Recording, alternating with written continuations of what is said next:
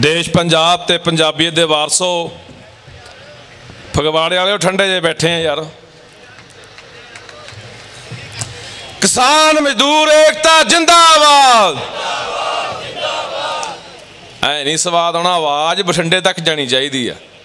ਕਹਿੰਦਾ ਬਠਿੰਡੇ ਤੋਂ ਆਇਆ ਮੈਂ। ਕਿਸਾਨ ਮਜ਼ਦੂਰ ਏਕਤਾ ਜਿੰਦਾਬਾਦ।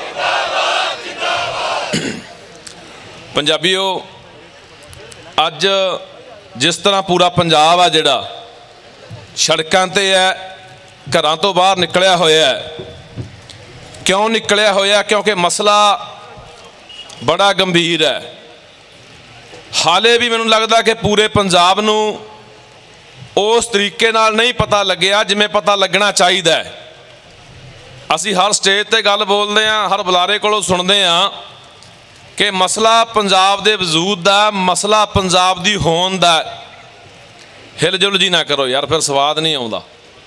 ਬਹਿ ਜਾਓ ਜਿੱਥੇ ਮੇਰਾ ਵੀਰ ਬੈਠਣਾ ਟੇਕ ਕੇ, ਇੱਕ ਥਾਂ ਬਹਿ ਜਾਓ। ਤਾਂ ਅੱਜ ਪੰਜਾਬ ਆ ਜਿਹੜਾ ਮੈਨੂੰ ਲੱਗਦਾ ਹੈ ਕਿ ਲੜਾਈ ਦੀ ਸ਼ੁਰੂਆਤ ਕਰ ਚੁੱਕਿਆ ਹੈ ਤੇ ਲੜਾਈ ਲੰਬੀ ਜਾਣੀ ਹੈ।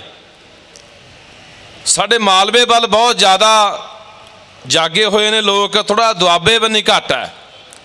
ਕਈ ਵਾਰੀ ਆਉਣ ਦਾ, ਤੁਹਾਡੇ ਨਾਲ ਗੱਲਾਂ ਬਾਤਾਂ ਕਰਨ ਦਾ ਸਮਾਂ ਮਿਲਿਆ, ਤਾਂ ਦੁਆਬੇ ਵਾਲੇ ਹਲੇ ਮੈਨੂੰ ਲੱਗਦਾ ਉਸ ਤਰੀਕੇ ਨਾਲ ਪਤਾ ਨਹੀਂ ਸਮਝ ਨਹੀਂ ਹੈਗੀ, ਪਤਾ ਨਹੀਂ ਘਰੋਂ ਨਹੀਂ ਨਿਕਲਣਾ ਚਾਹੁੰਦੇ, ਪਤਾ ਨਹੀਂ ਕੀ ਕਾਰਨ ਆ। ਪਰ ਇਹ ਸ਼ਹਿਰ ਦਾ ਪ੍ਰੋਗਰਾਮ ਹੈ, ਫਗਵਾੜੇ ਦਾ, ਤਾਂ ਸ਼ਹਿਰ ਦੇ ਹਿਸਾਬ ਦੇ ਨਾਲ ਮੈਨੂੰ ਲੱਗਦਾ ਕਿ ਇਹ ਵੀ ਠੀਕ ਹੈ ਕਿ ਜਿਵੇਂ ਜਿਵੇਂ ਸੁਖਪ੍ਰੀਤ ਉਦੋਗ ਜੀ ਨੇ ਕਿਹਾ ਕਿ ਸ਼ਹਿਰੀਆਂ ਨੂੰ ਨਾਲ ਲੈ ਕੇ ਚੱਲਣਾ ਹੈ, ਕਿਉਂਕਿ ਮਸਲਾ ਭਰਾਵੋ, ਇੱਥੇ ਇਕੱਲੇ ਕਿਸਾਨਾਂ ਦਾ ਨਹੀਂ ਆ। ਮਸਲਾ ਇਕੱਲੇ ਮਜ਼ਦੂਰਾਂ ਦਾ ਨਹੀਂ ਆ, ਮਸਲਾ ਹਰ ਦੁਕਾਨਦਾਰ ਦਾ, ਹਰ ਆੜਤਕੇ ਦਾ, ਹਰ ਵਪਾਰੀ ਦਾ ਮਸਲਾ ਹੈ।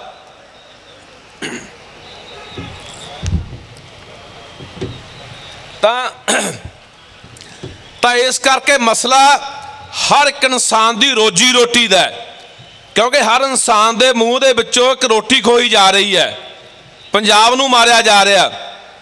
ਜਿਸ ਕਰਕੇ ਅੱਜ ਹਰ ਇਨਸਾਨ ਦਾ, ਚਾਹੇ ਉਹ ਕਿਸੇ ਵੀ ਧਰਮ, ਜਾਤੀ, ਕਿਸੇ ਵੀ ਕਾਰੋਬਾਰ ਨਾਲ ਸੰਬੰਧ ਰੱਖਦਾ ਹੋਵੇ, ਉਹਦਾ ਫਰਜ਼ ਬਣਦਾ ਹੈ ਕਿ ਇਸ ਲੜਾਈ ਦੇ ਵਿੱਚ ਵੱਧ ਚੜ ਕੇ ਆਪਣਾ ਯੋਗਦਾਨ ਪਾਵੇ। ਸੋ ਆਪਾਂ ਇੱਕ ਹੋਰ ਗੱਲ ਜਿਹੜੀ ਮੈਂ ਕਰਨੀ ਚਾਹੁੰਦਾ ਕਿ ਪਿੱਛੇ ਜੇ ਐਸੇ ਦੁਆਬੇ ਏਰੀਏ ਦੇ ਵਿੱਚ ਆ ਬੀਜੇਪੀ ਜਿਹੜੇ ਆਰਐਸਐਸ ਵਾਲੇ ਸੰਗੀ ਨੇ ਜਿਹੜੇ, ਇਹਨਾਂ ਨੇ ਬਾਬਾ ਸਾਹਿਬ ਡਾਕਟਰ ਭੀਮ ਰਾਓ ਅੰਬੇਦਕਰ ਨੂੰ ਮੋਹਰਾ ਬਣਾ ਕੇ ਉਹਨਾਂ ਨੇ ਇੱਕ ਦਲਿਤ ਪੱਤਾ ਖੇਡਣ ਦੀ ਕੋਸ਼ਿਸ਼ ਕੀਤੀ ਸੀ। ਮੈਂ ਦੇਖਿਆ ਕਿ ਕਈ ਥਾਈਂ ਇਹਨਾਂ ਨੇ ਬਾਬਾ ਸਾਹਿਬ ਦੇ ਬੁੱਤ ਦੇ ਉੱਤੇ ਜਿਹੜੇ ਫੁੱਲ ਚੜਾਉਣ ਦੀ ਕੋਸ਼ਿਸ਼ ਕੀਤੀ ਗਈ, ਇਹਨਾਂ ਦਾ ਵਿਰੋਧ ਵੀ ਹੋਇਆ।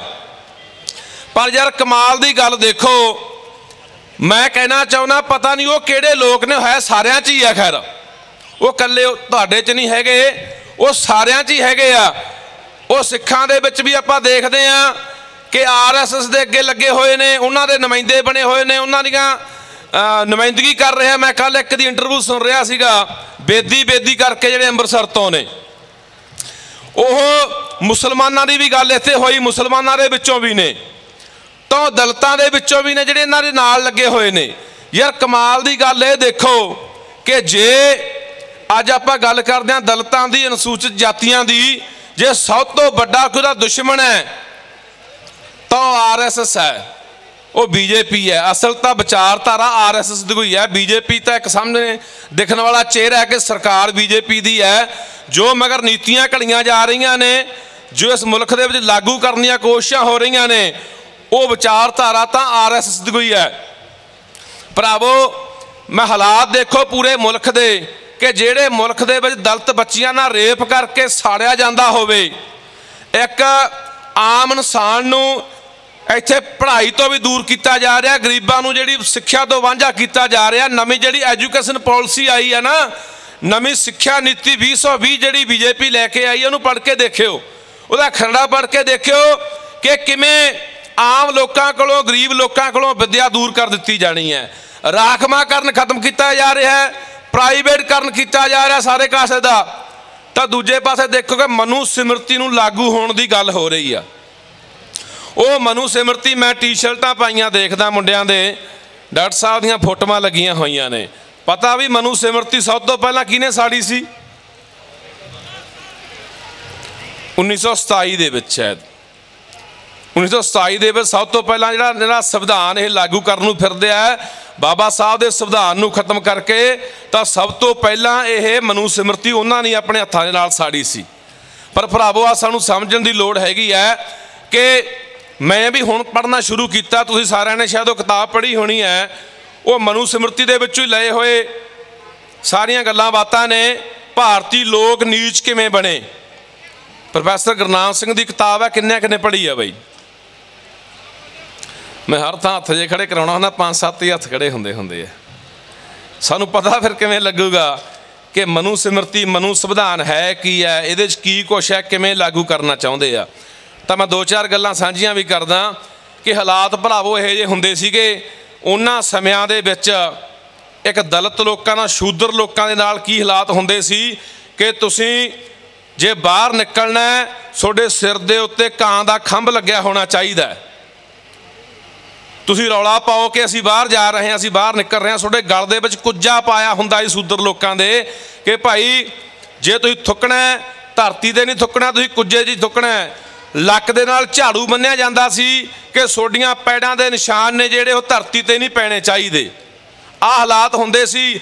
ਆਮ ਤੌਰ ਤੇ ਕਹਾਵਤ ਬਣੀ ਹੈ ਕਿ ਮਜਬੀ ਸਿੱਖ ਤੇ ਗੋਦ ਦੁਪਹਿਰੇ ਬਾਹਰ ਨਿਕਲਦੇ ਆ ਉਹ ਕਿਉਂ ਸੀ? ਕਿਉਂਕਿ 12 ਵਜੇ ਤੋਂ 3 ਵਜੇ ਤੱਕ ਦਾ ਸਮਾਂ ਹੁੰਦਾ ਸੀ ਕਿ 12 ਤੋਂ 3 ਤੱਕ ਜਿਹੜੇ ਸ਼ੂਦਰ ਲੋਕ ਨੇ ਉਹ ਬਾਹਰ ਨਿਕਲ ਸਕਦੇ ਕਿਉਂਕਿ ਪਰਛਾਵਾਂ ਜਿਹੜਾ ਉਹ ਐਨ ਵਿਚਾਲੇ ਖੜਾ ਹੁੰਦਾ ਲੰਮਾ ਨਹੀਂ ਹੋਇਆ ਹੁੰਦਾ। ਇਹ ਹਾਲਾਤ ਬਣੇ। ਤੁਸੀਂ ਦੇਖੋ, ਅੱਜ ਵੀ ਪਿੰਡਾਂ ਦੇ ਹਾਲਾਤ ਇਹ ਨੇ, ਜਿੰਨੇ ਅੱਜ ਦਲਿਤ ਲੋਕਾਂ ਦੇ ਘਰ ਨੇ ਸ਼ਿਪ ਦੇ ਵੱਲ ਹੈ। ਹੈ ਕਿ ਨਹੀਂ ਹੈ? ਆ ਕਾਕੜ ਕਲਾਂ ਵਾਲੇ ਮੇਰੇ ਸਾਥੀ ਬੈਠੇ ਨੇ, ਜਲੰਧਰ ਜ਼ਿਲ੍ਹੇ ਵਾਲੇ। ਤੇ ਇਹਨਾਂ ਦੇ ਪਿੰਡ ਵੀ ਰੌਲਾ ਪਿਆ, ਅਸੀਂ ਵੀ ਗਏ। ਇੱਕ ਸਰਪੰਚ ਵੱਲੋਂ ਇਹ ਮਤਾ ਪਾ ਦਿੱਤਾ ਗਿਆ ਕਿ ਦਲਿਤ ਭਾਈਚਾਰੇ ਦਾ ਸਮਾਜਿਕ ਬਾਈਕਾਟ ਕੀਤਾ ਜਾ ਰਿਹਾ। ਮੈਂ ਇਹ ਕਸੂਰਵਾਰ ਭਰਾਵੋ, ਜੇ ਪੂਰੇ ਮੁਲਕ ਦੇ ਵਿੱਚ ਅੱਜ ਦਲਤਾਂ ਨੂੰ ਮੰਦਰਾਂ ਦੇ ਵਿੱਚ ਨਹੀਂ ਵੜਨ ਦਿੱਤਾ ਜਾ ਰਿਹਾ, ਦਲਤ ਨੂੰ ਘੋੜੀ ਚੜਨ ਦੀ ਮਨਾਹੀ ਹੈ ਵਿਆਹਾਂ ਦੇ ਵੇਲੇ। ਵਿਆਹ ਵੇਲੇ ਦਲਤ ਬੰਦਾ ਘੋੜੀ ਨਹੀਂ ਚੜ ਸਕਦਾ। ਆ ਰਾਜਸਥਾਨ ਦੇ ਵਿੱਚ ਇੱਕ ਮੁੰਡੇ ਰਸ ਕਰਕੇ ਕਤਲ ਹੋਇਆ ਸੀਗਾ ਕਿਉਂਕਿ ਉਹਨੇ ਮੁੱਛਾਂ ਰੱਖ ਲੀਆਂ ਉਹ ਕਹਿੰਦੇ ਮੁੱਛਾਂ ਸਿਰਫ ਤੇ ਉੱਚ ਜਾਤੀ ਦੇ ਲੋਕ ਰੱਖ ਸਕਦੇ ਦਲਤ ਨਹੀਂ ਰੱਖ ਸਕਦੇ। ਪੰਜਾਬ ਦੇ ਵਿੱਚ ਕਿਉਂ ਆ?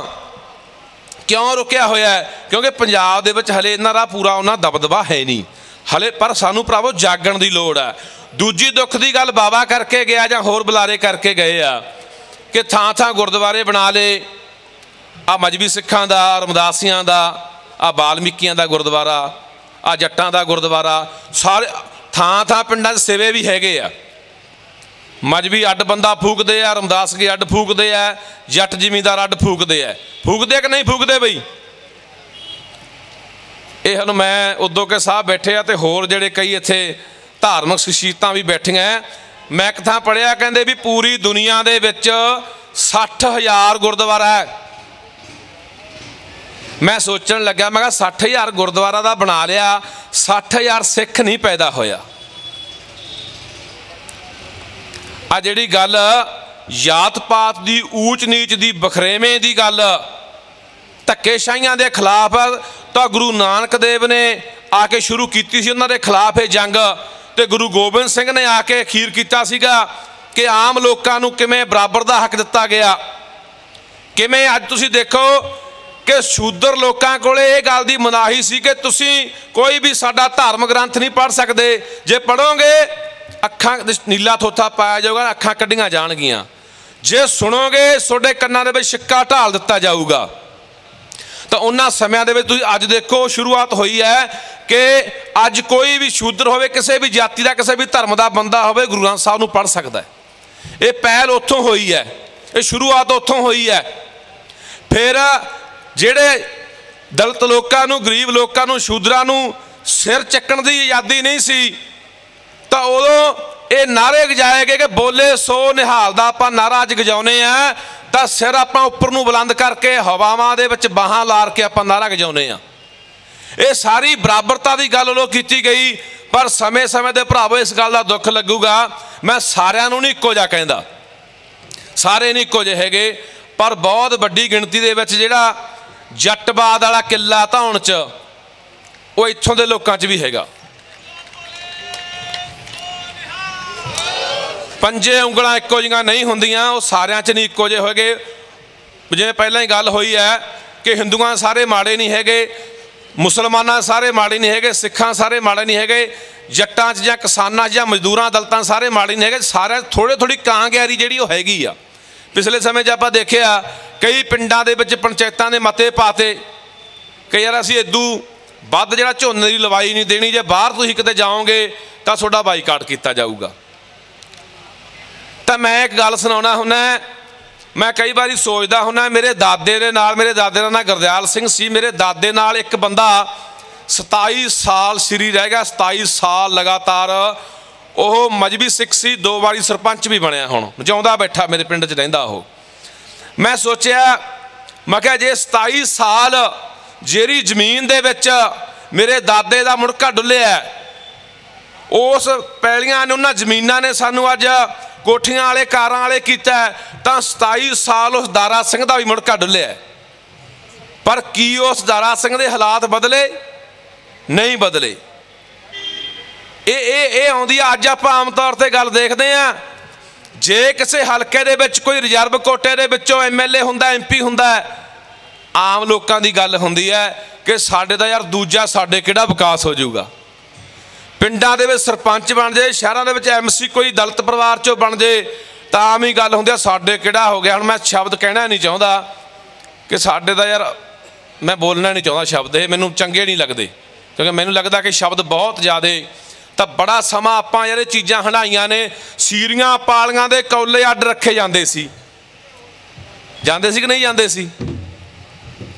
ਹਾਲਾਤ ਇਹ ਇੱਥੇ ਸਾਡੇ ਮੈਂ ਮੇਰੇ ਅੱਖੀ ਦੇਖਣ ਦੀ ਗੱਲ ਹੈ। ਮੇਰੀ 35 36 ਸਾਲ ਦੀ ਉਮਰ ਆ, ਤਾਂ ਮੇਰੇ ਅੱਖੀਂ ਦੇਖਣ ਦੀਆਂ ਗੱਲਾਂ ਨੇ। ਅਸੀਂ ਅਸੀਂ ਇੱਕ ਪਾਸੇ ਕਹਿੰਦੇ ਆ ਕਿ ਅਸੀਂ ਗੁਰੂ ਗੋਬਿੰਦ ਸਿੰਘ ਦੇ ਪੁੱਤ ਆ, ਅਸੀਂ ਬਾਬੇ ਨਾਨਕ ਦੇ ਸਿੱਖ ਆ। ਜਾਤ ਪਾਤ ਊਚ ਨੀਚ ਨੂੰ ਖਤਮ ਕਰਨ ਵਾਲਾ ਸਾਡਾ ਫਲਸਫਾ, ਸਾਡੀ ਵਿਚਾਰਧਾਰਾ, ਅਸੀਂ ਮੰਨੀ ਕਿੰਨੀ ਕਾ ਤਾਂ ਇਹ ਇਹ ਗੱਲ ਮੈਂ ਇਹਨਾਂ ਨੂੰ ਕਹਿਣਾ ਚਾਹੁੰਦਾ, ਬੈਠੀਆਂ ਸ਼ਖਸੀਅਤਾਂ ਨੂੰ ਕਿ ਤੁਸੀਂ ਧਾਰਮਿਕ ਖੇਤਰ ਦੇ ਬੰਦੇ ਹੋ। ਇਹ ਗੱਲ ਵੀ ਸਾਨੂੰ ਅੱਜ ਕਰਨ ਦੀ ਲੋੜ ਹੈ ਕਿ ਜਿਹੜੀਆਂ ਚਾਲਾਂ ਅੱਜ ਮਨੂ ਸਿਮਰਤੀ ਲਿਆ ਕੇ ਕਰਨ ਦੀਆਂ ਕੋਸ਼ਿਸ਼ਾਂ ਕਰ ਰਹੇ ਨੇ ਜਾਤ ਪਾਤ ਦਾ ਵਿਤਕਰਾ ਧੱਕੇਸ਼ਾਹੀਆਂ ਲੋਕਾਂ ਨਾਲ ਹੋਣੀਆਂ ਨੇ, ਤਾਂ ਉਹ ਇੱਕੋ ਹੀ ਇੱਕ ਚੀਜ਼ ਇਹਨਾਂ ਨੂੰ ਕਾਟ ਕਰਦੀ ਹੈ, ਉਹ ਆ ਗੁਰੂ ਗ੍ਰੰਥ ਸਾਹਿਬ ਦਾ ਵਿਚਾਰਧਾਰਾ ਉਹਨਾਂ ਦਾ, ਉਹ ਫਲਸਫਾ। ਉਹਨੂੰ ਵਧਾਉਣ ਦੀ ਲੋੜ ਆ, ਉਹਦੇ ਪ੍ਰਚਾਰ ਦੀ ਲੋੜ ਹੈ, ਲੋਕਾਂ ਨੂੰ ਅੱਜ ਗੱਲ ਲਾਉਣ ਦੀ ਲੋੜ ਆ ਯਾਰ। ਅਸੀਂ ਇੱਕ ਹੈ ਅਸੀਂ ਗੁਰੂ ਗੋਬਿੰਦ ਸਿੰਘ ਦੇ ਪੁੱਤ ਹਾਂ ਅਸੀਂ ਪੰਜਾਬ ਦੇ ਵਾਸੀ ਹਾਂ ਅਸੀਂ ਜਾਤਾਂ ਪਾਤਾਂ ਵਾਲੇ ਬਾਅਦ ਚ ਹਾਂ ਸੋ ਭਰਾਵੋ, ਇਹ ਗੱਲ ਦਾ ਖਾਸ ਖਿਆਲ ਰੱਖਿਆ ਕਰੋ। ਆਉਣ ਵਾਲੇ ਸਮੇਂ ਦੇ ਵਿੱਚ ਸਾਨੂੰ ਇਸੇ ਚੱਕਰ ਦੇ ਵਿੱਚ ਹੁਣ ਉਧਰੋਂ ਖੜੇ ਹੋ ਗਏ ਵੀ ਭਾਈ ਆਪਣੀ ਗੱਲ ਨੂੰ ਸਮਾਪਤ ਕਰਦੇ। ਚਲੋ ਮੈਂ ਸਮਾਪਤ ਕਰਦਾ 2-4 ਮਿੰਟ ਦੇ ਵਿੱਚ। ਤਾਂ ਮੈਂ ਇੰਨੀ ਗੱਲ ਕਹਿਣੀ ਚਾਹੂੰਗਾ ਕਿ ਆਉਣ ਵਾਲੇ ਸਮੇਂ ਦੇ ਵਿੱਚ ਸਾਨੂੰ ਜਾਤਾਂ ਦੇ ਨਾਂ ਤੇ ਧਰਮ ਦੇ ਨਾਂ ਤੇ ਲੜਾਇਆ ਵੀ ਜਾਊਗਾ, ਉਸ ਵਿੱਚ ਪਾੜਾ ਵੀ ਪਾਉਣ ਦੀ ਕੋਸ਼ਿਸ਼ ਕੀਤੀ ਜਾਊਗੀ, ਕਿਉਂਕਿ ਇਹਨਾਂ ਦੀ ਨੀਤੀ ਕੋਈ ਇਹ ਹੈ। ਹੁਣ ਤੁਸੀਂ ਮੈਨੂੰ ਇੱਕ ਗੱਲ ਦਾ ਹੋਰ ਜਵਾਬ ਦਿਓ। ਬਾਬਾ ਬਾਲਮੀਕ ਦੇਆਂ ਜਿੰਨੀਆਂ ਫੋਟੋਆਂ ਨੇ, ਸਾਰੀਆਂ ਫੋਟੋਆਂ ਦੇ ਉੱਤੇ ਮੈਂ ਦੇਖਦਾ ਉਹਨਾਂ ਹੱਥ ਦੇ ਵਿੱਚ ਕਲਮ ਹੈ ਤੇ ਕਿਤਾਬ ਹੈ। ਹੈਗੀ ਕਿ ਨਹੀਂ ਹੈ? ਦੇਖੀਏ ਨਾ ਫੋਟੋਆਂ, ਤੁਸੀਂ ਵੀ ਦੇਖੀਆਂ ਹੋਣੀਆਂ ਯਾਰ। ਤੇ ਸਾਡੇ ਲੋਕਾਂ ਕੋਲੋਂ ਕਲਮ ਤੇ ਕਿਤਾਬ ਖੋਣ ਵਾਲੇ ਕੌਣ ਲੋਕ ਨੇ? ਕਦੇ ਸੋਚਿਆ? ਅਖੀਰ ਦੇ ਉੱਤੇ ਮੈਂ ਗੱਲ ਕਰਦਾ, ਆਉਣ ਵਾਲੇ ਸਮੇਂ ਸੁਚੇਤ ਰਹੋ ਮੇਰਾ ਵੀਰ, ਬਹੁਤ ਚਾਲਾਂ ਹਲੇ ਚੱਲੀਆਂ ਜਾਣੀਆਂ ਨੇ, ਬੜਾ ਕੁਝ ਇੱਥੇ ਹੋਣਾ ਹੈ, ਕਿਉਂਕਿ ਇਹਨਾਂ ਨੇ ਬੁਰੀ ਮਿੱਥੀ ਹੋਈ ਹੈ ਕਿ ਪੂਰੇ ਮੁਲਕ ਨੂੰ ਹਿੰਦੂ ਮੁਲਕ ਬਣਾਉਣਾ ਹੈ ਹਿੰਦੂ ਰਾਸ਼ਟਰ ਬਣਾਉਣਾ ਹੈ।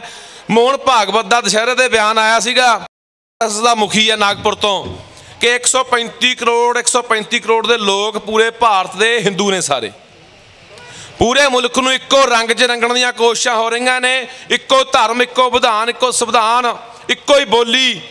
ਆ ਬੋਲੀ ਸਾਡੀ ਪੰਜਾਬੀ ਮਾਂ ਬੋਲੀ ਦੀ ਮੈਂ ਗੱਲ ਕਰਦਾ ਹੁੰਨਾ ਜਾਣ ਬੁੱਝ ਕੇ ਸਾਡੀ ਬੋਲੀ ਨੂੰ ਖਤਮ ਕੀਤਾ ਜਾ ਰਿਹਾ ਅਸੀਂ ਵੀ ਇਹਨਾਂ ਦੇ ਮਗਰ ਲੱਗੇ ਹੋਏ ਆ ਰਾਜਸਥਾਨ, ਹਰਿਆਣਾ, ਜੰਮੂ ਕਸ਼ਮੀਰ, ਦਿੱਲੀ, ਆਪ ਆਪਣੇ ਲੈ ਲਓ ਇੱਥੋਂ ਆਪਣਾ ਚੰਡੀਗੜ੍ਹ ਪੰਜਾਬੀ ਖਤਮ ਕਰ ਦਿੱਤੀ ਗਈ। ਹੁਣ ਪੰਜਾਬ 'ਚ ਲੱਗੇ ਹੋਏ ਆ ਤੇ ਉਹ ਜ਼ਿੰਮੇਵਾਰ ਅਸੀਂ ਵੀ ਲੋਕ ਆ ਕਿਉਂਕਿ ਅਸੀਂ ਕਿੰਨਾ ਕਿਸ ਗੱਲ ਦੇ ਪਹਿਰਾ ਦਿੰਨੇ ਆ ਕਿ ਸਾਡੇ ਜਵਾਕ ਸਾਡੇ ਸਕੂਲਾਂ ਦੇ ਵਿੱਚ ਜਿੱਥੇ ਪੜ੍ਹਦੇ ਆ, ਕੀ ਉੱਥੇ ਪੰਜਾਬੀ ਪੜ੍ਹਾਈ ਜਾਂਦੀ ਹੈ? ਕਿਹੋ ਜਿਹਾ ਇਤਿਹਾਸ ਪੜਾਇਆ ਜਾਂਦਾ ਹੈ? ਆ, ਇਹਨਾਂ ਦਾ ਇੱਕ ਬਕਈਆ ਨੈਡੂ ਹੈ, ਉਹਦਾ ਇੱਕ ਬਿਆਨ ਆਇਆ ਸੀਗਾ ਕਿ 2013 ਚ ਬਿਆਨ ਆਇਆ ਕਿ ਅਸੀਂ ਜਿਹੜੀ ਆ ਸਕੂਲਾਂ ਦਾ ਸਿਲੇਬਸ ਆ, ਜਿਹੜੀ ਉਹਨਾਂ ਦੀ ਪੜ੍ਹਾਈ ਆ, ਉਹਨੂੰ ਅਸੀਂ ਬਦਲਾਂਗੇ। ਉਹ ਬਦਲ ਰਹੇ ਨੇ। ਇੱਕ ਬਤਰਾ ਬਤਰਾ ਇਹਨਾਂ ਦਾ ਬਣਿਆ ਹੋਇਆ ਜਿਹੜਾ ਐਨਸੀਆਰਟੀ ਦਾ ਸਲਾਹਕਾਰ ਬਣਾਇਆ ਹੋਇਆ। ਉਹ ਬੰਦੇ ਨੇ ਇਹਦਾ ਵੀ ਬਿਆਨ ਆ, ਸੁਣ ਲਿਓ, ਉਹਨੇ 9 ਕਿਤਾਬਾਂ ਛਾਪੀਆਂ ਨੇ, ਗੁਜਰਾਤ ਦੇ ਅੰਕੜੇ ਨੇ। ਗੁਜਰਾਤ ਦੇ 42000 ਸਕੂਲਾਂ ਦੇ ਵਿੱਚ ਉਹਦੀਆਂ 9 ਜਿਹੜੀਆਂ ਕਿਤਾਬਾਂ ਛਾਪੀਆਂ ਹੋਈਆਂ, ਉਹ ਸਿਲੇਬਸ ਪੜਾਇਆ ਜਾ ਰਿਹਾ ਹੈ। ਸਾਡੇ ਸਕੂਲਾਂ ਦੇ ਵਿੱਚ ਵੀ ਸਾਡੇ ਇਤਿਹਾਸ ਨੂੰ ਤੋੜਿਆ, ਮਰੋੜਿਆ ਜਾ ਰਿਹਾ ਹੈ ਇਤਿਹਾਸ ਪੜਾਇਆ ਜਾ ਰਿਹਾ ਹੈ। ਕਿੰਨੇ ਕੁ ਬੰਦੇ ਨੇ ਜਿਹੜੇ ਆਪਣੇ ਜਵਾਕਾਂ ਨੂੰ ਘਰੇ ਆ ਉਹਨੂੰ ਪੁੱਛਦੇ ਆ ਜੇ ਉਹਨਾਂ ਨੇ ਕਿਤਾਬਾਂ ਕਾਪੀਆਂ ਚੈੱਕ ਕਰਦੇ ਆ ਕਿ ਕਿਹੜਾ ਇਤਿਹਾਸ ਉਹਨੂੰ ਪੜਾਇਆ ਜਾਂਦਾ ਸਾਨੂੰ ਸਕੂਲ 'ਚ ਕੀ ਸਿਖਾਇਆ ਜਾਂਦਾ, ਕੀ ਲਿਖਾਇਆ ਜਾਂਦਾ ਸਾਰਿਆਂ ਨੂੰ ਇੱਕੋ ਹੀ ਲੱਗਿਆ ਹੋਇਆ, ਭੂਤ ਸਵਾਰ ਹੈ। ਸਾਡਾ ਜਵਾਕ ਅੰਗਰੇਜ਼ੀ ਸਕੂਲ 'ਚ ਪੜਦਾ ਜੀ, ਇਹ ਵੱਡੇ ਸਕੂਲ 'ਚ ਪੜਦਾ ਜੀ, ਇਹ 90% ਲੈਂਦਾ ਜੀ, ਇਹ 95 ਲੈਂਦਾ ਜੀ। ਪਰ ਉਹਨੂੰ ਬਣਾਇਆ ਕੀ ਜਾ ਰਿਹਾ, ਕਦੇ ਸੋਚਿਆ? ਆ ਜਿੰਨੇ ਸਰਬ ਹਿਤਕਾਰੀ ਸਕੂਲ ਹੈ, ਸਾਰੇ ਆਰਐਸ ਦੇ ਆ ਸਵੇਰੇ ਹਵਨ ਚੱਲ ਪੈਂਦਾ, ਸਵੇਰੀ ਉੱਥੇ। ਆ ਸਾਡੇ ਜਵਾਕਾਂ ਨੂੰ ਵੀ ਹਵਨ ਵਾਲੇ ਪਾਸੇ ਲਾਈ ਬੈਠੇ ਆ। ਪਰ ਸਾਨੂੰ ਸਾਡਾ ਜਵਾਕ ਜੀ ਅੰਗਰੇਜ਼ੀ ਪੜ੍ਹ ਜੇ, ਉਹ ਪੜ੍ਹਾ ਲਓ ਯਾਰ, ਅੰਗਰੇਜ਼ੀ ਕੌਣ ਰੋਕਦਾ? ਅੰਗਰੇਜ਼ੀ ਪੜਾਓ ਹਿੰਦੀ, ਅਰਬੀ, ਉਰਦੂ ਜੋ ਮਰਜ਼ੀ ਪੜਾਓ ਪਰ ਆਪਣੀ ਜ਼ੁਬਾਨ ਨਾਲੋਂ ਕਿਉਂ ਤੋੜ ਰਹੇ ਆ ਆਪਣੇ ਜਵਾਕਾਂ ਨੂੰ? ਆਪਣੇ ਇਤਿਹਾਸ ਨਾਲੋਂ ਕਿਉਂ ਤੋੜ ਰਹੇ ਆ? ਕੋਈ ਬੰਦਾ ਬਾਹ ਖੜੀ ਕਰਕੇ ਕਹਿ ਸਕਦਾ ਕਿ ਮੈਂ ਆਪਣੇ ਜਵਾਕ ਤੇ ਪੂਰਾ ਪਹਿਰਾ ਦੇ ਰਿਹਾ? ਖੜੀ ਕਰੋ ਬਾਹ ਫਿਰ। ਤਿੰਨ ਬੰਦੇ ਖੜੇ ਹੋਏ ਆ, ਤਿੰਨ ਬੰਦੇ। ਗਿਣਤੀ ਦੇ ਤਿੰਨ ਬੰਦੇ ਖੜੇ ਹੋਏ ਆ ਜਿਹੜੇ ਇਹ ਕਹਿੰਦੇ ਕਿ ਅਸੀਂ ਆਪਣੇ ਜਵਾਕਾਂ ਤੇ ਪੂਰਾ ਗੌਰ ਰੱਖਦੇ ਆ, ਨਿਗਾਹ ਰੱਖਦੇ ਆ, ਕੀ ਪੜਾਇਆ ਜਾਂਦਾ, ਕੀ ਲਿਖਾਇਆ ਜਾਂਦਾ, ਬਾਕੀਆਂ ਨੂੰ ਤਾਂ ਐ ਲੱਗਦਾ ਉੱਥੋਂ 90 95 ਲੈ ਕੇ ਰਿਜ਼ਲਟ ਆ ਜਾਂਦਾ ਘਰੇ ਆ ਕੇ ਲੱਡੂ ਵੰਡ ਦਿੰਨੇ ਆ। ਸਾਡੀਆਂ ਘਰ ਵਾਲੀਆਂ ਮਾਵਾਂ ਖੁਸ਼ ਹੋਈਆਂ, ਫਿਰਦੀਆਂ ਹੁੰਦੀਆਂ, ਵੀ ਸਾਡਾ ਜਵਾਬ ਬਹੁਤ ਹੁਸ਼ਿਆਰ ਹੈ ਪਰ ਇਹ ਦਿਮਾਗ 'ਚ ਕੀ ਪਾਇਆ ਜਾ ਰਿਹਾ? ਅੱਜ ਨੌਜਵਾਨ ਜਿਹੜੇ ਸਾਡੇ ਹੈਗੇ ਆ, ਜਦੋਂ ਕੋਈ ਨੰਬਰ ਘਟ ਜਾਣ, ਕਿਸੇ ਪੜ੍ਹਾਈ ਦੇ ਵਿੱਚੋਂ ਖੁਦਕੁਸ਼ੀ ਕਰ ਜਾਂਦੇ ਆ। ਕਿਸੇ ਤੋਂ ਆਈਲੈਟਸ ਨਾ ਹੋਵੇ, ਉਹ ਦਿਮਾਗ ਹਿੱਲ ਜਾਂਦੇ ਉਹਨਾਂ ਲੋਕਾਂ ਦੇ, ਕਿਉਂ ਆ? ਕਿਉਂਕਿ ਮਾਨਸਿਕ ਤੌਰ ਤੇ ਸਾਡੀ ਜਵਾਨੀ ਸਾਡੇ ਬੱਚੇ ਖਤਮ ਹੋ ਰਹੇ ਨੇ। ਜਿਹੜੀ ਚੀਜ਼ਾਂ ਦੀ ਲੋੜ ਹੈ, ਉਹ ਅਗਲੇ ਨੂੰ ਪਤਾ ਹੈ ਕਿ ਕਿ ਜਿਹੜੀ ਕੌਮ ਨੂੰ ਖਤਮ ਕਰਨਾ ਹੈ, ਤਾਂ ਉਸ ਕੌਮ ਦੇ ਜਿਹੜੀ ਅਗਲੀ ਜਵਾਨੀ ਹੁੰਦੀ ਹੈ, ਅਗਲੀ ਪੀੜ੍ਹੀ ਹੁੰਦੀ ਹੈ, ਉਹਨੂੰ ਕਿਵੇਂ ਆਪਾਂ ਉਹਦੀ ਪੜ੍ਹਾਈ ਤੋਂ, ਉਹਦੀਆਂ ਸਿੱਖਿਆਵਾਂ ਤੋਂ, ਉਹਦੀ ਬੋਲੀ ਤੋਂ, ਉਹਦੀ ਵਿਰਾਸਤ ਤੋਂ, ਉਹਦੇ ਇਤਿਹਾਸ ਤੋਂ ਕਿਵੇਂ ਦੂਰ ਕਰਨਾ ਉਹਨਾਂ ਲੋਕਾਂ ਨੂੰ? ਉਹ ਉਹ ਕੀਤਾ ਜਾ ਰਿਹਾ ਸਕੂਲਾਂ 'ਚ, ਕਾਲਜਾਂ 'ਚ, ਯੂਨੀਵਰਸਿਟੀਆਂ 'ਚ। ਸਾਨੂੰ ਇੱਕੋ ਹੀ ਭੂਤ ਸਵਾਰਾ ਦੁਆਬਾ ਦਾ ਪਹਿਲਾਂ ਹੀ ਬਹੁਤ ਵਾਰ ਹੈ ਕਿ ਚਲੋ ਜੀ, Canada, America, Africa, German, England, Australia, ਚਲੋ, ਆਈਲੈਂਡਸ ਕੀਤਾ, ਲਏ ਬੈਂਡ ਜੇ, ਚਲੋ ਬਾਹਰ। ਨਹੀਂ ਆਏ, ਆਈਲੈਂਡਸ ਵਾਲੀ ਕੁੜੀ ਪਾਲੋ ਲਾਓ ਵੀ 25 ਲੱਖ, ਚਲੋ ਬਾਹਰ। ਆ ਹਾਲਾਤ ਪੰਜਾਬ ਦੇ ਆ। ਪੰਜਾਬ ਰਹਿਣਾ ਕੌਣ ਚਾਹੁੰਦਾ? ਕੋਈ ਵੀ ਨਹੀਂ ਚਾਹੁੰਦਾ ਜਿਹਨੂੰ ਮਰਜ਼ੀ ਪੁੱਛ ਲਓ। ਮੈਂ ਬਹੁਤ ਮੁੰਡਿਆਂ ਨਾਲ ਗੱਲ ਕਰਦਾ ਹੁੰਦਾ, ਮੈਂ ਕੀ ਕਰਦਾ ਹੁੰਦਾ ਬਾਈ? ਕਹਿੰਦੇ ਇੰਟਰਵਿਊ ਆ ਜੀ, ਮੇਰੀ ਫਾਈਲ ਲੱਗੀ ਹੋਈ ਹੈ ਮੈਂ ਕਿਹਾ ਸੰਘਰਸ਼ਾਂ 'ਚ ਆ ਜਾ ਕਿਤੇ। ਕਹਿੰਦੇ ਬਈ ਪਰਚਾ ਨਾ ਹੋ ਜਾਏ ਯਾਰ, ਇੱਥੇ ਨਾ ਰਹਿ ਜਾਈਏ ਕਿਤੇ। ਜਿਹੜੇ ਐਂ ਡਰੀ ਜਾਂਦੇ ਆ, ਪਰਚਾ ਨਾ ਹੋ ਜਾਏ, ਬਾਹਰ ਜਾਣਾ ਫਾਈਲ ਲੱਗੀ ਹੈ ਇੰਟਰਵਿਊ ਆ ਗਈ। ਉਹ ਫਿਰ ਕਿਹੜੇ ਪੰਜਾਬ ਦੀ ਲੜਾਈ ਲੜ ਲੈਣਗੇ ਬਈ? ਮੈਨੂੰ ਤਾਂ ਲੱਗਦਾ ਨਹੀਂ ਲੜਨਗੇ। ਕੱਲਾ ਕੱਲਾ ਜਵਾਕ ਹੈ ਹਰ ਇੱਕ ਦੇ। ਮਾੜਾ ਕੋਈ ਕਬੇਲਾ ਹੋ ਜੇ ਹੱਥ ਨੇ ਜੇ। ਨਾਲ ਦੀ ਨਾਲ ਮਗਰ ਮਾਂ ਫੋਨ ਕਰਨ ਲੱਗਦੇ ਪੁੱਤ ਕਿੱਥੇ ਆ? ਛੇਤੀ ਛੇਤੀ ਘਰੇ ਆ ਜਾ। ਤੇ ਕਿਹੜੇ ਹੁਕ ਸੰਘਰਸ਼ਾਂ 'ਚ ਆ ਜਾਣਗੇ? ਕਿਹੜੇ ਹਿੱਕ ਡਾ ਦੇਣਗੇ ਅੱਗੇ ਆ ਕੇ ਸਾਡੇ ਪੰਜਾਬੀ? ਇਹ ਯਾਰ ਬੜੀ ਸੋਹਣੀ ਧਰਤੀ ਆ। ਬੜੀ ਅਮੀਰ ਸਾਡੀ ਵਿਰਾਸਤ ਹੈ ਬੜੀ ਮਹਾਨ ਸਾਡੀ ਬੋਲੀ ਹੈ ਬੜਾ ਲਾਮਸ਼ਾਲ ਕੁਰਬਾਨੀਆਂ ਨਾਲ ਭਰਿਆ ਹੋਇਆ ਸਾਡਾ ਇਤਿਹਾਸ ਹੈ ਖੂਨ ਨਾਲ ਲਿਖਿਆ ਹੋਇਆ ਇਤਿਹਾਸ ਆ ਸਾਡਾ। ਚੱਪੇ ਚੱਪੇ ਤੇ ਖੂਨ ਡੁੱਲਿਆ ਹੋਇਆ, ਚੱਪੇ ਚੱਪੇ ਤੇ ਸ਼ਹੀਦ ਬੈਠਾ ਇੱਥੇ। ਅਸੀਂ ਉਸ ਧਰਤੀ ਤੋਂ ਛੱਡ ਕੇ ਬਾਹਰ ਨੂੰ ਭਗੌੜੇ ਹੋ ਰਹੇ ਹਾਂ। ਆ ਨੌਕਰੀਆਂ ਦੀ ਗੱਲ ਲੈ ਲਓ। ਮੈਂ ਪਰਸੋਂ ਹੀ ਬਿਆਨ ਪੜ੍ਹ ਰਿਹਾ ਸੀਗਾ ਹਰਿਆਣੇ ਦੇ ਮੁੱਖ ਮੰਤਰੀ ਦਾ ਕਿ 75% ਦੀ ਨੌਕਰੀਆਂ ਹਰਿਆਣੇ ਵਾਲਿਆਂ ਲਈ ਪਹਿਲ ਹੈ। ਬਾਕੀ ਬਾਅਦ ਦੇਖਾਂਗੇ। ਮੱਧ ਪ੍ਰਦੇਸ਼ ਦੇ ਵਿੱਚ 75% ਦੀ ਉਹਨਾਂ ਲਈ ਪਹਿਲ ਹੈ। ਆ ਮਹਾਰਾਸ਼ਟਰ ਮਰਾਠਿਆਂ ਲਈ ਰਿਜ਼ਰਵ ਹੈ। ਹਿਮਾਚਲ ਹਿਮਾਚਲੀਆਂ ਲਈ ਰਿਜ਼ਰਵ ਹੈ। ਪੰਜਾਬ ਕਿੰਨਾਂ ਲਈ ਰਿਜ਼ਰਵ ਹੈ? ਗੁਜਰਾਤੀਆਂ ਲਈ, ਬੰਗਾਲੀਆਂ ਲਈ, ਬਿਹਾਰ ਵਾਲਿਆਂ ਲਈ ਯੂਪੀ ਵਾਲਿਆਂ ਲਈ। ਆ ਸਾਡੀ ਧਰਤੀ ਦਾ ਚੱਪਾ ਚੱਪਾ ਇਹਨਾਂ ਨੇ ਲਾ ਲਾ ਫੈਕਟਰੀਆਂ, ਭੋਰਾ ਭੋਰਾ ਥਾਂ ਜ਼ਹਿਰੀਲਾ ਕਰਤਾ, ਪਾਣੀ ਸਾਡੇ ਜ਼ਹਿਰੀਲੇ ਕਰਤੇ, ਹਵਾਵਾਂ ਸਾਡੀਆਂ ਦੂਸ਼ਿਤ ਕਰਤੀਆਂ, ਨੌਕਰੀ ਕਿੰਨਾਂ ਨੂੰ ਮਿਲ ਰਹੀ ਹੈ? ਯੂਪੀ ਬਿਹਾਰ, ਬੰਗਾਲ ਦੇ ਲੋਕਾਂ ਨੂੰ। ਜੇ ਦੱਸ ਦਿਓ, ਨਹੀਂ ਹੈਗੀ ਗੱਲ ਤਾਂ ਇਹ ਤੁਹਾਡੇ ਨੇੜੇ ਕੋਈ ਫੈਕਟਰੀ, ਕਾਰਖਾਨਾ ਹੋਣਾ ਆ ਟੋਲ ਤੁਹਾਡੇ ਨੇੜੇ ਇੱਥੇ ਦੇਖ ਲਿਆ ਕਰੋ ਟੋਲਾਂ ਤੇ। ਸਾਰੇ ਬਾਹਰਲੇ ਰੱਖੇ ਹੋਏ ਨੇ। ਕਿਉਂ ਨਹੀਂ ਪੰਜਾਬ ਸਰਕਾਰ ਇਹ ਮਤਾ ਪਾਉਂਦੀ, ਇਹ ਬਿੱਲ ਪਾਸ ਕਰਦੀ? ਕਿ ਭਾਈ ਪੰਜਾਬ ਦੇ ਲੋਕਾਂ ਦੀਆਂ 70 75% ਪਹਿਲ ਪੰਜਾਬੀਆਂ ਨੂੰ ਹੋਊਗੀ, ਬਾਕੀ ਬਾਅਦ ਚ ਹੋਊਗੀ। ਇਹ ਵੀ ਲਹਿਰ ਚਲਾਉਣ ਦੀ ਲੋੜ ਹੈ। ਨਾਲ ਨਾਲ ਇੱਥੇ ਆ ਵੀ ਲਹਿਰ ਚਲਾਉਣੀ ਸਾਨੂੰ ਪੈਣੀ ਹੈ। ਨਹੀਂ, ਸਾਡੇ ਵਾਲੇ ਕੀ ਕਰਦੇ ਆ? ਨੌਕਰੀ ਕੋਈ ਮਿਲਦੀ ਨਹੀਂ, ਰੋਜ਼ਗਾਰ ਕੋਈ ਮਿਲਦਾ ਨਹੀਂ। ਬਾਹਰ ਜਾਇਆ ਨਹੀਂ ਜਾਂਦਾ, ਹਰ ਇੱਕ ਦਾ ਥੋੜੀ ਬਾਹਰ ਜਾ ਵੜੂਗਾ ਜਿਹਦੇ ਕੋਲ 20 25 ਲੱਖ 50 ਲੱਖ ਉਹੀ ਬਾਹਰ ਜਾਂਦਾ ਉਹ ਵੀ ਕਈ ਵਾਰੀ ਡਿੱਕਾ ਡੁੱਕਾ ਲੱਗਦਾ ਰਹਿ ਜਾਂਦਾ ਜਿਹੜੇ ਫਿਰ ਇੱਥੇ ਰਹਿੰਦੇ ਨੇ, ਉਹ ਨਸ਼ਿਆਂ ਦੇ ਰਾਹ ਪੈ ਜਾਂਦੇ ਨੇ। ਆ ਟੀਕੇ ਲਾ ਲਾ, ਮਰੀ ਜਾਂਦੇ ਨੇ। ਇਹੀ ਤੇ ਚਾਹੁੰਦੇ ਆ। ਕਿਉਂਕਿ ਜਵਾਨੀ ਸਾਡੇ ਮੂਹਰੇ ਅੱਖ ਚੱਕਣ ਵਾਲੀ ਹੋਵੇ ਹੀ ਨਾ। ਸੋ ਭਰਾਵੋ, ਗੱਲਾਂ ਇਹ ਸੰਜੀਦਗੀਆਂ ਨਾਲ ਲਿਓ। ਥੋੜੀਆਂ ਜੀਆਂ ਐ ਨਹੀਂ ਹੈਗੀਆਂ ਕਿ ਯਾਰ ਕੋਈ ਗੱਲ ਨਹੀਂ, ਆਏ ਸੀ ਕਿਸਾਨਾਂ ਦੇ ਇਕੱਠ ਤੇ ਬਾਵਾ ਆ ਗਿਆ, ਕਨਵਰ ਗਰੇਵਾਲ ਆ ਗਿਆ, ਉਦੋਂ ਕੇ ਆ ਗਿਆ, ਫਲਾਨਾ ਆ ਗਿਆ, ਧਮਕਾ ਆ ਗਿਆ, ਸੁਣਿਆ ਏ, ਫੋਟੋ ਕਰਾਇਆ ਏ, ਬਸ। ਆ ਸਾਡਾ ਕੰਮ ਪੂਰਾ ਹੋ ਗਿਆ, ਅਸੀਂ ਕਿਸਾਨੀ ਅੰਦੋਲਨ ਦੇ ਵਿੱਚ ਭਰਾਵੋ ਸਾਥ ਦਿੱਤਾ। 26 27 ਤਰੀਕ ਨੂੰ ਦਿੱਲੀ ਵੱਲ ਕੂਚ ਕਰਨਾ ਹੈ। ਐ ਨਾ ਹੋਵੇ ਸਾਨੂੰ ਕੋਈ ਸੱਦੂਗਾ, ਸੱਦਾ ਭੇਜੂਗਾ, ਜਿਵੇਂ ਬਾਈ ਫਗਵਾੜੇ ਵਾਲੇ ਨੇ ਦੱਸਿਆ, ਸੁਖਦੇਵ ਨੇ ਕਿ ਸੱਦੇ ਨਹੀਂ ਲੱਗੇ। ਯਾਰ ਸੱਦਾ ਲੱਗਣ ਨੂੰ ਇੱਥੇ ਕੋਈ ਵਿਆਹ ਧਰਿਆ ਵੀ ਭਾਈ ਸਾਡੇ ਕੋਈ ਮੁੰਡੇ ਦਾ ਵਿਆਹ ਜਾਂ ਛੱਡੀ ਸੀਗੀ ਭਾਈ, ਤੁਸੀਂ ਆਓ ਸੱਦਾ ਦਿੰਨੇ ਆ। ਇਹ ਸਾਰਿਆਂ ਦਾ ਫਰਜ਼ ਆ। ਜੇ ਅਸੀਂ 300 ਮੀਲ ਤੋਂ ਇੱਥੇ ਤੁਹਾਡੇ ਕੋਲ ਚੱਲ ਕੇ ਆਏ ਆ, ਅਸੀਂ ਕੋਈ ਕਿਸੇ ਦਾ ਸਾਨ ਨਹੀਂ ਕਰਨ ਆਏ। ਵੀ ਤੁਹਾਡੇ ਸਾਨ ਕਰਨ ਆਏ ਆ ਫਗਵਾੜੇ ਦੇ ਵਿੱਚ। ਹਰ ਬੰਦੇ ਦਾ ਫਰਜ਼ ਬਣਦਾ ਹੈ। ਕਿ ਯਾਰ ਇਹ ਪੰਜਾਬ ਮੇਰਾ ਹੈ, ਇਹ ਪੰਜਾਬੀਅਤ ਨੂੰ ਮੈਂ ਬਚਾਉਣਾ ਹੈ, ਕਿਸਾਨੀ ਨੂੰ ਮੈਂ ਬਚਾਉਣਾ ਹੈ, ਮੇਰੀ ਮਿੱਟੀ ਹੈ, ਮੇਰੀ ਧਰਤੀ, ਮੇਰੀ ਮਾਂ ਇਹਨੂੰ ਮੈਂ ਬਚਾਉਣਾ ਹੈ। ਉਹਦੇ ਦਿੱਲੀ ਵਾਲੇ ਦਿਲ ਨਾ ਸੋਚੀ ਜਾਇਓ ਕਿ ਕੋਈ ਜਥੇਬੰਦੀ ਵਾਲਾ ਕਹੂਗਾ, ਕੋਈ ਕਲਾਕਾਰ ਕਹੂਗਾ, ਕੋਈ ਸੀਗਾ ਬਣ ਗਿਆ, ਤਾਂ ਚੱਲਾਂਗੇ, ਕੋਈ ਸੰਗ ਬਣ ਗਿਆ, ਨਾ। ਉਹਦੇ ਆਪੇ ਆਪ ਘਰੋਂ ਨਿਕਲ ਪਿਓ ਭਰਾਵੋ ਤੇ ਮਾਂ ਨੂੰ ਕਹਿ ਕੇ ਜਾਇਓ ਘਰੇ ਜਾਂ ਘਰ ਵਾਲੀ ਨੂੰ ਵੀ ਸਾਡੇ ਆਉਣ ਦੀ ਆਟਾ ਗੁੰਨੀ। ਮੱਥਾ ਹੁਣ ਲਾਉਣਾ ਪੈਣਾ ਐ ਗੱਲ ਗੁਜ਼ਾਰਾ ਹੋਣਾ ਨਹੀਂ ਜੇ ਅਸੀਂ ਸੋਚਾਂਗੇ, ਕਿਉਂਕਿ ਬਹੁਤ ਬੁਰੀ ਮਿੱਥੀ ਬੈਠਿਆ ਬਹੁਤ ਹੀ ਬੁਰੀ ਮਿੱਥੀ ਬੈਠਿਆ ਪੰਜਾਬ ਲਈ। ਆ ਤੁਸੀਂ ਦੇਖ ਲਓ, ਪੰਜਾਬ ਦਾ ਮੁੱਖ ਮੰਤਰੀ ਜਾਂਦਾ, ਰਾਸ਼ਟਰਪਤੀ ਮਿਲਦਾ ਤੱਕ ਨਹੀਂ। ਜਥੇਬੰਦੀਆਂ ਵਾਲੇ ਜਾਂਦੇ ਆ, ਜਲੀਲ ਕਰਕੇ ਮੋੜੇ ਜਾਂਦੇ ਆ। ਆ ਬੀਜੇਪੀ ਵਾਲੇ ਰੌਲਾ ਪਾਈ ਜਾਂਦੇ ਆ ਜੀ ਆ ਦੇਖੋ ਜੀ, ਰੇਲਾਂ ਰੋਕੀਆਂ ਹੋਈਆਂ ਲੀਹਾਂ ਇਹਨਾਂ ਨੇ।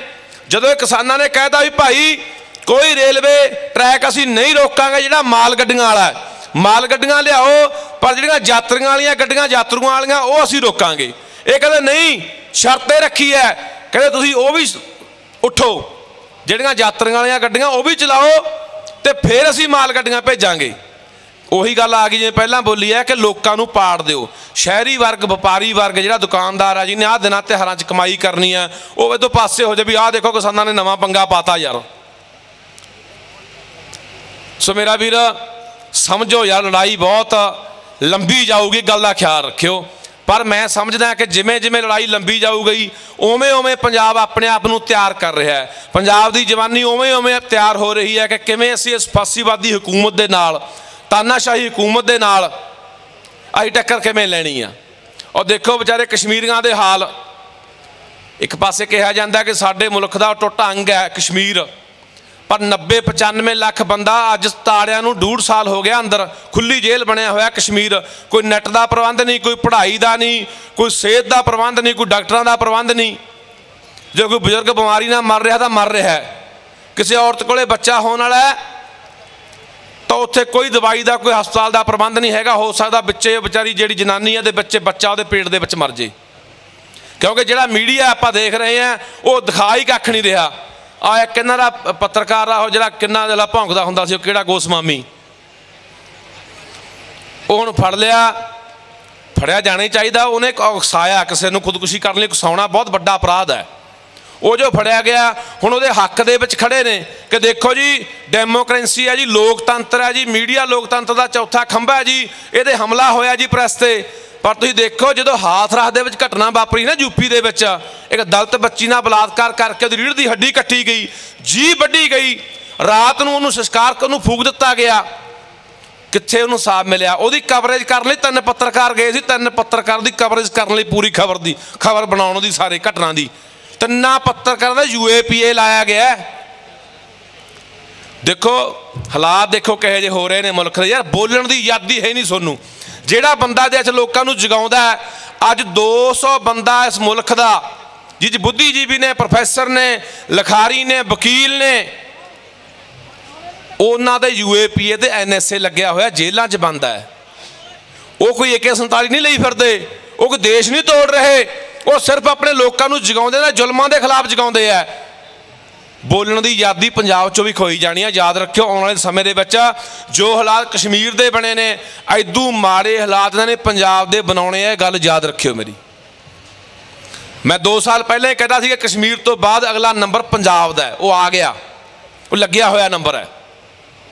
ਪਰ ਉਹਦੇ ਲਈ ਅਸੀਂ ਤਿਆਰ ਕਿਵੇਂ ਰਹਿਣਾ, ਆਪਣੇ ਆਪ ਨੂੰ ਲੜਨ ਲਈ ਕਿਵੇਂ ਸਮਰਪਿਤ ਕਰਨਾ ਹੈ, ਇਹ ਉਹੀ ਗੱਲ ਫੇਰ ਵਾਰ-ਵਾਰ ਜੇ ਕਿਸੇ ਦੇ ਕਹਿਣ ਤੇ ਆਉਣਾ ਨਹੀਂ। ਅੰਦਰੋਂ ਤੁਹਾਡੇ ਇੱਕ ਅੱਗ ਹੋਣੀ ਚਾਹੀਦੀ ਹੈ, ਇੱਕ ਜਜ਼ਬਾ ਜਨੂਨ ਹੋਣਾ ਚਾਹੀਦਾ ਹੈ, ਇੱਕ ਪਿਆਰ, ਮੁਹੱਬਤ ਹੋਣਾ ਚਾਹੀਦਾ ਇਸ ਪੰਜਾਬ ਲਈ, ਪੰਜਾਬੀਅਤ ਲਈ ਕਿ ਨਹੀਂ ਅਸੀਂ ਲੜਾਂਗੇ ਅੱਗੇ ਹੋ ਕੇ। ਫੇਰ ਇਹ ਬਚਣਾ ਜੇ ਅਸੀਂ ਘਰਾਂ 'ਚ ਵੜ ਕੇ ਬੈਠ ਗਏ ਤਾਂ ਭਲੇਖੇ 'ਚ ਨਾ ਰਹਿ ਜਾਓ, ਘਰਾਂ 'ਚ ਵੀ ਵੜ ਕੇ ਅਗਲੇ ਨੇ ਬੈਠਣ ਨਹੀਂ ਦੇਣੇ, ਘਰਾਂ 'ਚੋਂ ਕੱਢ ਲੈਣਗੇ ਅਗਲੇ। ਕਿਉਂਕਿ ਇਹ ਬੜੀ ਭੈੜੀ ਪਲੈਨਿੰਗ ਦੇ ਨਾਲ ਚੱਲੇ ਹੋਇਆ 100 ਸਾਲ ਹੋ ਗਿਆ ਹੌਲੀ ਹੌਲੀ ਹੌਲੀ ਹੌਲੀ ਜੜਾਂ ਦਾਤੀ ਪਾਉਂਦੇ ਪਾਉਂਦੇ ਪਾਉਂਦੇ ਪਾਉਂਦੇ ਇੱਥੋਂ ਤੱਕ ਇੱਥੇ ਆ ਗਏ। ਸੋ ਭਰਾਵੋ, ਬਸ ਇੰਨੀਆਂ ਕਿ ਮੇਰੀਆਂ ਬੇਨਤੀਆਂ ਹੀ ਤੁਹਾਨੂੰ। 26 27 ਤਰੀਕ ਨੂੰ ਦਿੱਲੀ ਦਾ ਪ੍ਰੋਗਰਾਮ ਹੈ। ਹੱਥ ਖੜੇ ਕਰੋ ਵੀ ਕਿੰਨੇ ਕ ਜਾਓਗੇ। ਦੇਖ ਕੇ ਜੇ ਕਰਦੇ ਆ। ਕਈ ਤਾਂ ਕਰ ਹੀ ਨਹੀਂ ਰਹੇ ਵਿਚਾਰੇ। ਇਹ ਇਤਿਹਾਸ ਲਿਖਿਆ ਜਾ ਰਿਹਾ ਇਤਿਹਾਸ। ਕਿਉਂਕਿ ਕੋਈ ਵੀ ਜਦੋਂ ਸੰਘਰਸ਼ ਚੱਲਦੇ ਨੇ, ਉਹਨਾਂ ਦਾ ਇੱਕ ਇੱਕ ਦਿਨ, ਇੱਕ ਇੱਕ ਪਲ, ਇੱਕ ਇੱਕ ਘੜੀ ਦਾ ਇਤਿਹਾਸ ਲਿਖਿਆ ਜਾਂਦਾ ਹੈ। ਤੋ ਇਤਿਹਾਸ ਜਿਹੜਾ ਹੈਗਾ ਉਹਦੇ ਵਿੱਚ ਤੁਹਾਡੇ ਜ਼ਿਕਰ ਹੋਣੇ ਨੇ ਕਿ ਫਗਵਾੜਾ, ਜਲੰਧਰ, ਪਟਿਆਲਾ, ਲੁਧਿਆਣਾ, ਕਪੂਰਥਲਾ, ਬਠਿੰਡਾ, ਅੰਮ੍ਰਿਤਸਰ, ਸੰਗਰੂਰ, ਮਾਨਸਾ, ਇਹ ਜਿਹੜੇ ਜ਼ਿਲ੍ਹੇ ਸੀ, ਇਹਨਾਂ ਦੇ ਲੋਕ ਸੀ, ਉਹਨਾਂ ਨੇ ਕੀ ਕੀ ਯੋਗਦਾਨ ਪਾਇਆ? ਗਦਾਰਾਂ ਨੇ ਕਿਹੜੀਆਂ ਗਦਾਰੀਆਂ ਕੀਤੀਆਂ? ਇਹ ਵੀ ਲਿਖਿਆ ਜਾਂਦਾ ਹੁੰਦਾ ਤਾਂ ਇਤਿਹਾਸ ਦਾ ਹਿੱਸਾ ਬਣ ਰਹੇ ਹੋ, ਲੜਾਈ ਦਾ ਹਿੱਸਾ ਬਣ ਰਹੇ ਹੋ। ਲੜਾਈ ਲੜੂਗਾ ਪੰਜਾਬ। ਇਹ 'ਚ ਮਾਨੀ ਕੋਈ ਸ਼ੱਕ ਨਹੀਂ ਹੈਗੀ। ਕਿਉਂਕਿ ਲੜਾਈ ਪੰਜਾਬ ਪਹਿਲਾਂ ਵੀ ਲੜਦਾ ਆਇਆ ਐਡੇ ਐਡੇ ਘੱਲੂਕਾਰੇ ਹੋਏ। ਐਡੇ ਐਡੇ ਹਮਲੇ ਹੋਏ, ਕਤਲੇਆਮ ਹੋਏ, ਪਰ ਪੰਜਾਬ ਫੇਰ ਵੀ ਦੁੱਗਣਾ ਚੌਗਣਾ ਹੋ ਕੇ ਉੱਠ ਕੇ ਖੜਾ ਹੋਇਆ ਕਦੇ ਪੰਜਾਬ ਦਬਿਆ ਨਹੀਂ, ਕਦੇ ਪੰਜਾਬ ਝੁਕਿਆ ਨਹੀਂ, ਵੱਡੇ ਟੁੱਕੇ ਤੋਂ ਵੀ। ਪਰ ਹੁਣ ਪੰਜਾਬ ਨੂੰ ਫੇਰ ਇੱਕ ਪਰਖ ਦੀ ਘੜੀ ਆ ਗਈ ਹੈ ਪੰਜਾਬ ਦੇ ਲਈ। ਤੇ ਅਸੀਂ ਆਪਣੇ ਆਪ ਨੂੰ ਸਾਬਤ ਕਰਨਾ ਹੈ ਕਿ ਮੋਦੀ, ਚਾਹੇ ਮੋਦੀ ਹੋਵੇ, ਚਾਹੇ ਆਰਐਸਐਸ ਹੋਵੇ, ਕਿ ਇਹ ਪੰਜਾਬ ਹੈ। ਇਹ ਯੂਪੀ ਨਹੀਂ ਹੈਗਾ, ਇਹ ਬਿਹਾਰ ਨਹੀਂ ਹੈਗਾ। ਇਹਦੇ ਹੱਥ ਅੱਗੇ ਪਹਿਲਾਂ ਮੁਗਲਾਂ ਨੇ, ਅੰਗਰੇਜ਼ਾਂ ਨੇ ਵੀ ਦੇਖੇ ਨੇ। ਤੇ ਹੱਥ ਤੈਨੂੰ ਵੀ ਦਿਖਾਉਣਗੇ। ਪਰ ਉਹਦੇ ਲਈ ਭਰਾਵੋ, ਇੱਕ ਰਣਨੀਤੀ ਦੀ ਲੋੜ ਹੁੰਦੀ ਹੈ, ਇੱਕ ਸੋਚ, ਇੱਕ ਸਮਝ ਦੀ ਲੋੜ ਹੁੰਦੀ ਹੈ। ਬਹੁਤ ਇਸ ਤਰ੍ਹਾਂ ਦੀਆਂ ਚਾਲਾਂ ਇਹ ਵੀ ਚੱਲਣਗੇ, ਕੋਈ ਹਿੰਸਕ ਕਾਰਵਾਈ ਕਰਾ ਦਿੱਤੀ ਜਾਵੇ, ਕੋਈ ਇਸ ਸੰਘਰਸ਼ ਨੂੰ ਹੋਰ ਰੂਪ ਦਿੱਤਾ, ਦੇ ਦਿੱਤਾ ਜਾਵੇ। ਇਹ ਗੱਲਾਂ ਮੈਂ ਪਹਿਲਾਂ ਵੀ ਸਮਝਾਈਆਂ, ਹੁਣ ਵੀ ਸੋਚ ਲਿਓ। ਇਹ ਬੜਾ ਕੁਝ ਪ੍ਰਾਪੇ ਗੰਡਾ, ਬੜੇ ਹੱਥਕੰਡੇ ਇਹਨਾਂ ਨੇ ਬਣਾਉਣੇ ਐ। ਅਸੀਂ ਸੁਚੇਤ ਰਹਿਣਾ ਕਿਉਂਕਿ ਬਹੁਤ ਵਧੀਆ ਤਰੀਕੇ ਨਾਲ ਸੰਘਰਸ਼ ਚੱਲ ਰਿਹਾ ਹੈ ਤੇ ਦਬਾਅ ਬਹੁਤ ਵੱਡਾ ਬਣਿਆ ਹੋਇਆ ਹੈ ਜੀ ਗੱਲ ਨਹੀਂ ਹੈਗੀ ਜਿਹੜੇ ਕਹਿੰਦੇ ਆ ਕੀ ਹੋ ਜਾਊਗਾ ਯਾਰ, ਮੋਦੀ ਦਾ ਪਿੱਛੇ ਨਹੀਂ ਹਟਦਾ ਯਾਰ। ਉਹਦਾ ਐਨਆਰਸੀ ਸੀਏ ਤੇ ਨਹੀਂ ਪਿੱਛੇ ਹਟਿਆ 370 ਤੇ ਨਹੀਂ ਪਿੱਛੇ ਹਟਿਆ ਜੰਮੂ ਕਸ਼ਮੀਰ ਡਿਊਟੀ ਬਣਾਦਾ ਪਿੱਛੇ ਨਹੀਂ ਹਟਿਆ। ਇਹ ਭਲੇਖਾ ਹੈ। ਅਸਲ ਵਾਹ ਹੁਣ ਪਿਆ ਪੰਜਾਬੀਆਂ ਨਾਲ। ਸਾਨੂੰ ਸਾਬਤ ਕਰਨਾ ਪੈਣਾ ਕਿ ਅਸੀਂ ਬਾਬਾ ਬੰਦਾ ਸਿੰਘ ਬਹਾਦਰ ਦੇ, ਹਰੀ ਸਿੰਘ ਨਲੂਏ ਦੀ ਅੰਸ ਬੰਸ ਹੈ, ਉਹਨਾਂ ਦਾ ਖੂਨ ਆ ਸਾਡੇ 'ਚ। ਅਸੀਂ ਗੁਰੂ ਗੋਬਿੰਦ ਸਿੰਘ ਦੇ ਪੁੱਤ ਆ ਇਹ ਹੁਣ ਸਾਬਤ ਕਰਨ ਦੀ ਲੋੜ ਆ। ਧੰਨਵਾਦ ਸਾਰਿਆਂ ਦਾ। ਵਾਹਿਗੁਰੂ ਜੀ ਕਾ ਖਾਲਸਾ ਵਾਹਿਗੁਰੂ ਜੀ ਕੀ ਕੀ ਫਤਿਹ। ਹੁਣ ਆਪਾਂ ਦੋ ਕੁ ਨਾਰੇ ਜਿਹੜੇ ਪੂਰੇ ਜੋਸ਼ ਦੇ ਨਾਲ ਪੂਰੀ ਆਵਾਜ਼ ਨੂੰ ਬੁਲੰਦ ਕਰਕੇ ਹੱਥ ਆਪਣੇ ਹਵਾ ਤਣੇ ਹੋਣੇ ਚਾਹੀਦੇ ਆ ਪਤਾ ਲੱਗ ਜੇ। ਜਿਹੜਾ ਕੋਈ ਸੰਗੀ ਟੋਲਾ ਵਾਲੇ ਦਾਲੇ ਫਿਰਦਾ ਹੋਣਾ ਕਿ ਹਾਂ ਵੀ ਫਗਵਾੜੇ ਦੇ ਵਿੱਚ ਵੀ ਗੂੰਜ ਪੈ ਗਈ ਆ। ਬੋਲੇ ਸੋਨਿਹਾ ਸਤਿ ਸ੍ਰੀ ਅਕਾਲ।